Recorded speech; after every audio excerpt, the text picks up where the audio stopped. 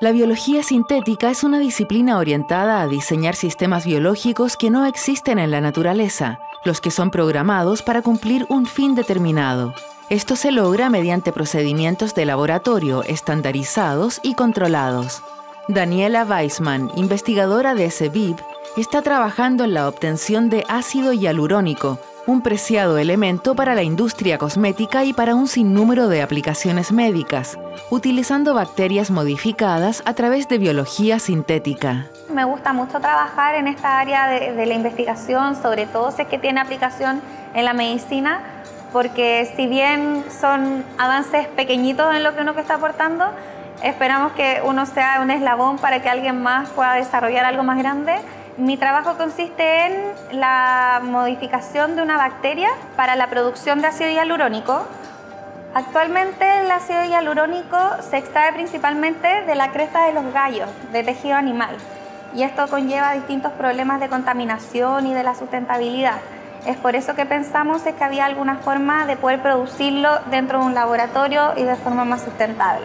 Otro aspecto sustentable de esta investigación es que busca alimentar estas bacterias productoras de ácido hialurónico a partir de silosa, un tipo de azúcar aislada de residuos forestales. Tras una evolución dirigida, se logró cultivar una bacteria capaz de alimentarse de silosa y además crecer a un ritmo 40% más rápido que con otras azúcares. Sería un, un gran logro para nosotros como centro de investigación y principalmente también para demostrar que en Chile se puede hacer ciencia que esté ligada al mercado y poder posicionarnos y que no simplemente somos investigadores de laboratorio o de escritorio y que eventualmente podemos tener una participación relevante en la industria, sobre todo una que genera tanto impacto como en la médica.